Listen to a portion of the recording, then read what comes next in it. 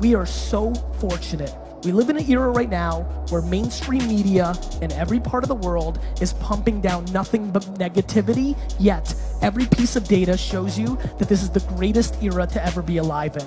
I understand we have problems, we all have massive problems, but they're not as bad as they used to be.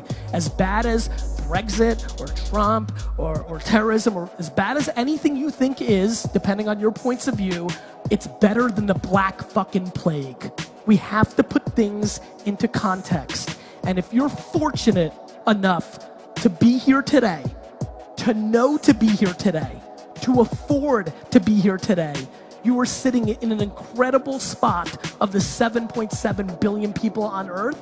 And I just don't understand why you wouldn't take full advantage of it. And it starts with something very basic, which is actually start understanding how this is all working deeper, not wider.